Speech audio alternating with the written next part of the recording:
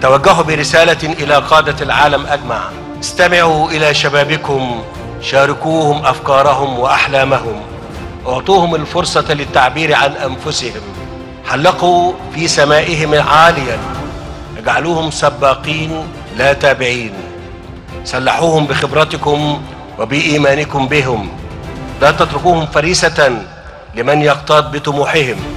ويستخدمهم أداة لنشر العنف والكراهية.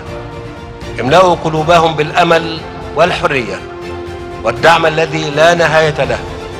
افتحوا لهم أبواب الثقة وأعطوهم مفاتيح القيادة فلا حاضر بدونهم ولا مستقبل بغيرهم.